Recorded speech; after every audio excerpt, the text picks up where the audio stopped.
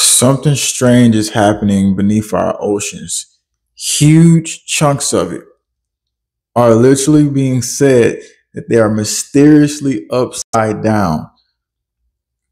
This geological inversion is happening in the North Sea.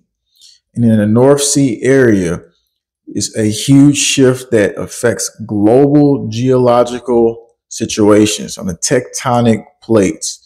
The question is, are we entering a global plate reorganization? Because these things that we're going to talk about here today, as we can see some of the earthquakes affecting all the different zones, we're going to be looking at the East Coast. We're also going to be looking at the Ring of Fire, as we've seen warnings just hit South Carolina with dozens of earthquakes in one week and lots of axial seamount under watch. We're going to get to all that here in just a second. But let's jump into the big story here about the giant chunks under the seafloor. And let's let you see the researchers that went out there.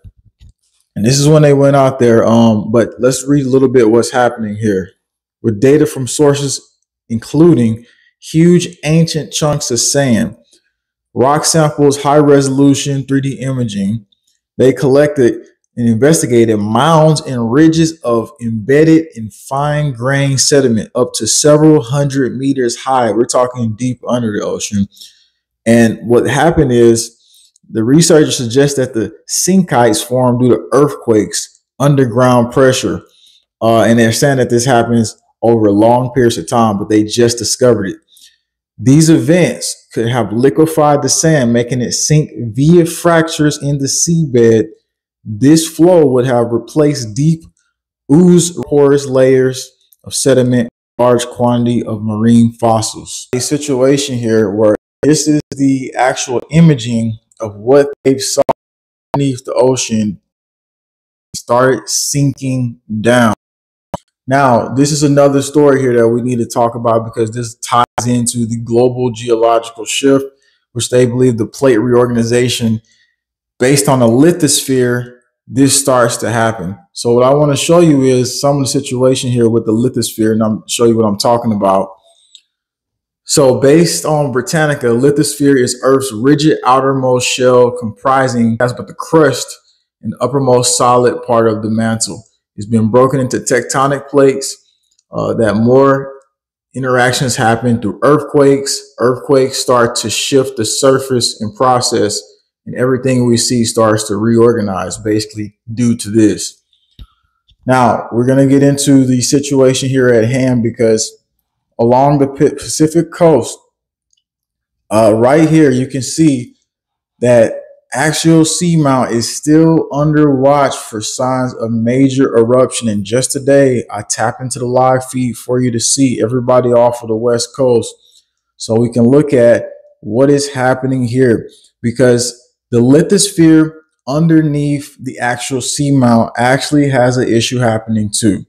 So the fact that these huge chunks on the seabed of the North Sea and the lithosphere also off the East Coast is showing us signs here that we potentially could be seeing a reorganization here. So check this out. Take you right here. You can see where the lithosphere is actually already having certain issues. You can see where the melt flow is happening.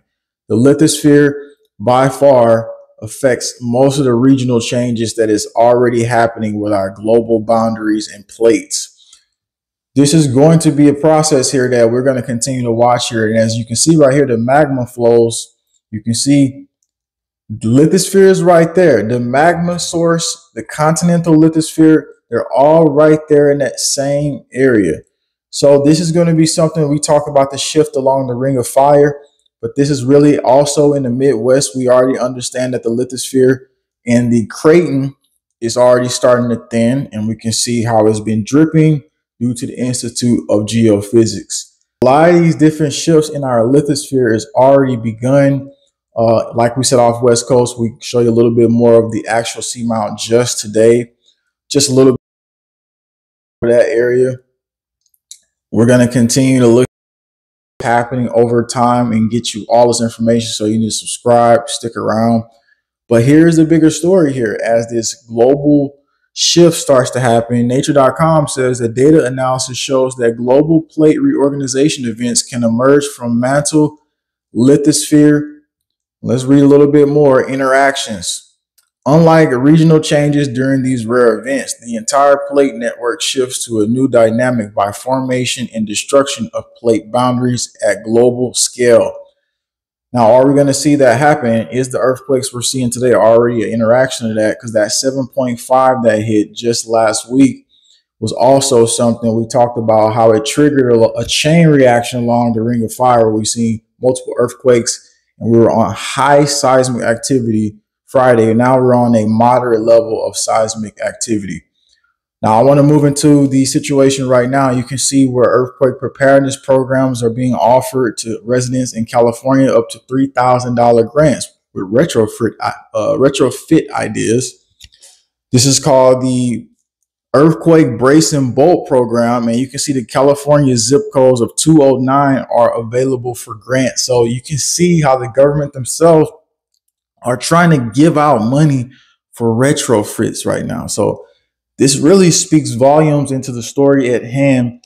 And if we look around Nankai Trough, this is where Japan has a slip, zip, unrip that scientists in Texas went out and they did a survey with borehole drilling uh, equipment.